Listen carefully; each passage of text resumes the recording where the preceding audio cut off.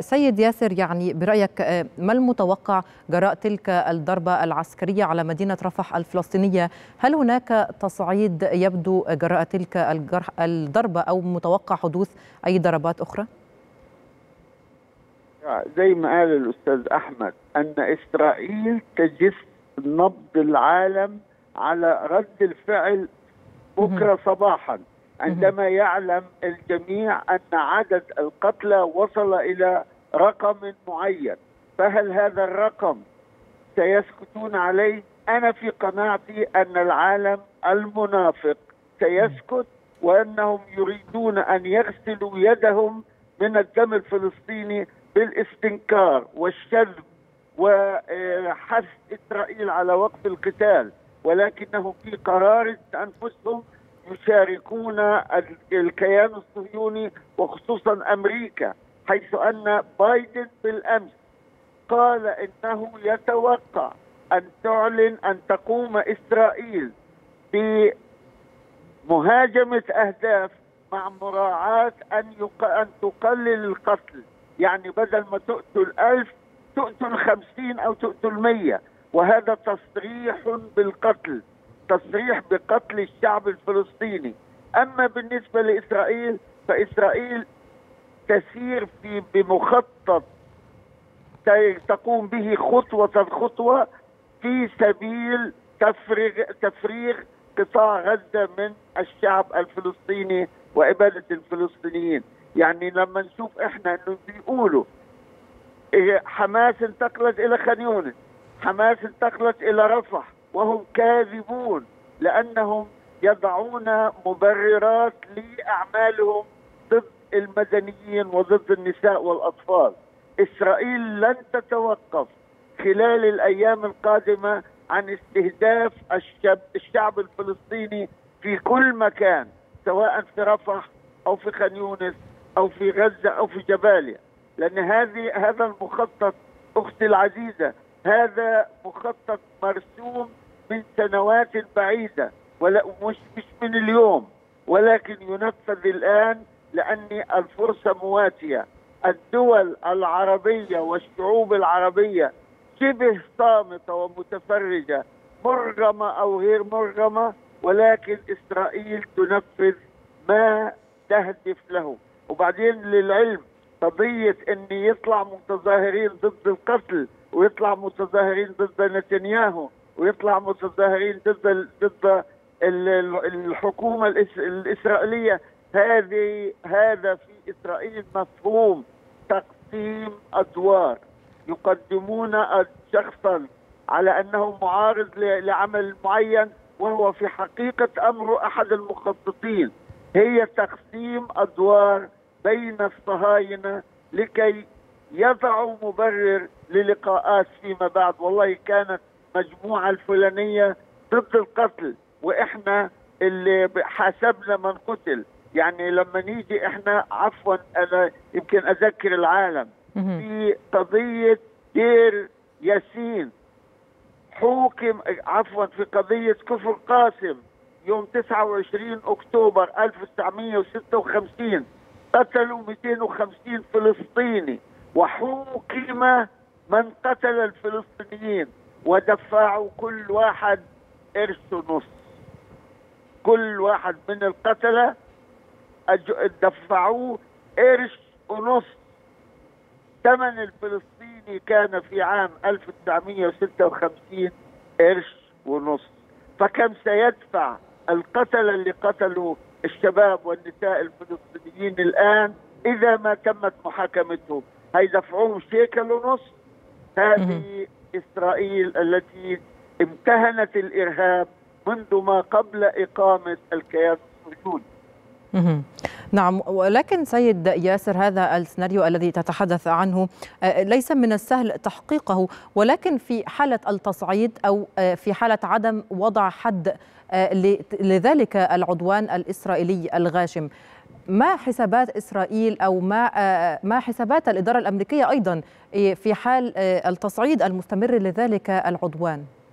حسابات الإدارة الأمريكية أنها ستدعي أن إسرائيل لم تستجب للنداءات الإنسانية التي قامت بها أمريكا في سبيل إنقاذ الفلسطينيين وهي كاذبة يعني لما أمس بايدن يعلن أن أن فخامة الرئيس عبد الفتاح السيسي أغلق معبر رفح وهو بايدن كاذب لأن مصر لم تغلق المعبر صحيح. ولكن ليضع مبرر لأشياء هو يقصدها قال هذا الكلام هؤلاء الناس يا أختي كما قال ووقف في إسرائيل وقال أنا صهيوني هو قال بايدن بلسانه قال أنه صهيوني وقال أكثر من ذلك نحن نقف مع إسرائيل. ما الذي نريد أكثر من هذه الصراحة؟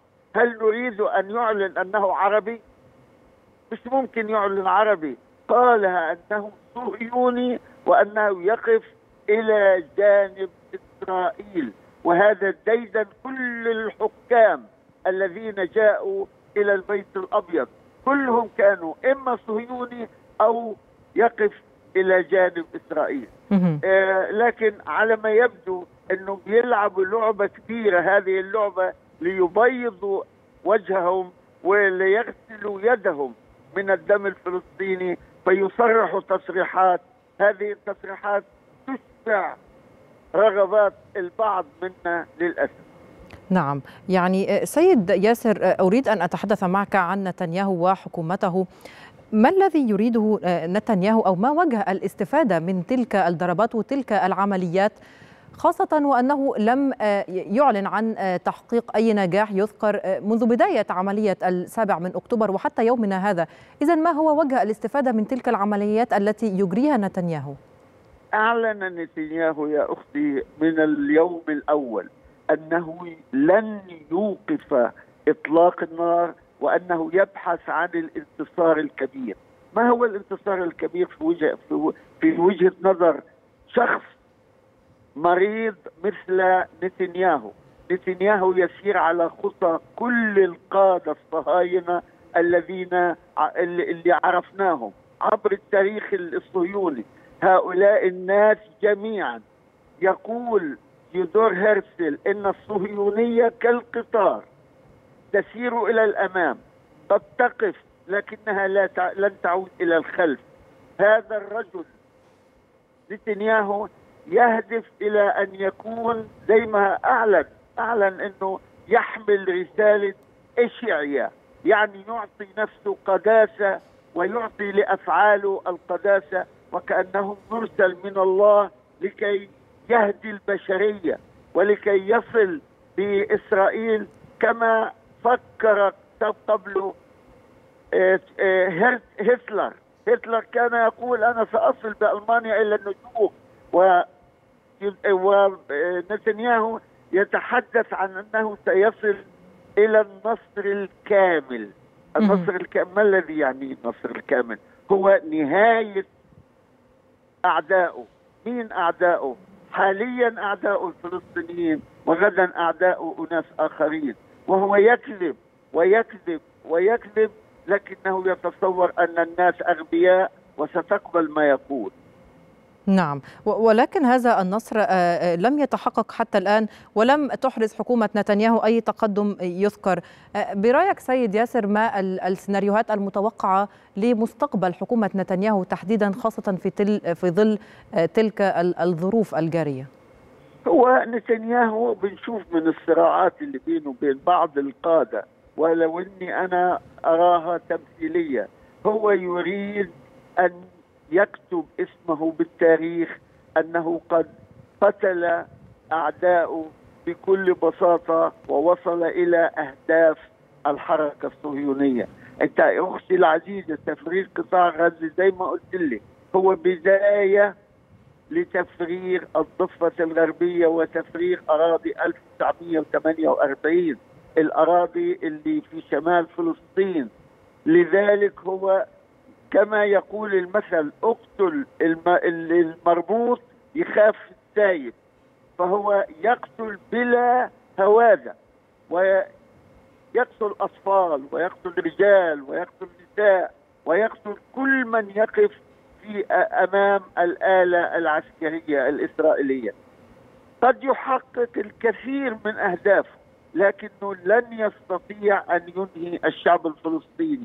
هذه قناعة قناعتنا جميعا.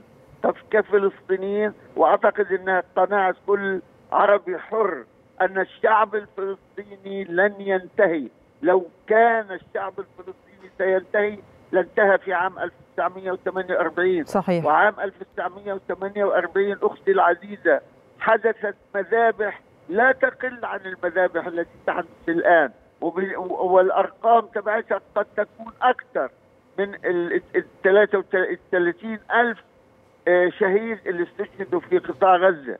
ولكن هذا الشعب ولات وهذا الشعب سيبقى في أرضه مهما فعلت فعل نتنياهو أو مهما فعلت الحركة الصهيونية. سنبقى على أرضنا حتى آخر رجل. بعد ما يموت آخر فلسطيني يبقوا يبقى باقي الفلسطينيين اللي في الخارج صدقيني سنعود إلى الأرض لنقاتل هذا العدو الصهيوني. فلسطين في داخلها في 12 ألف فلسطيني وخارج فلسطين أكثر من 5 مليون فلسطيني.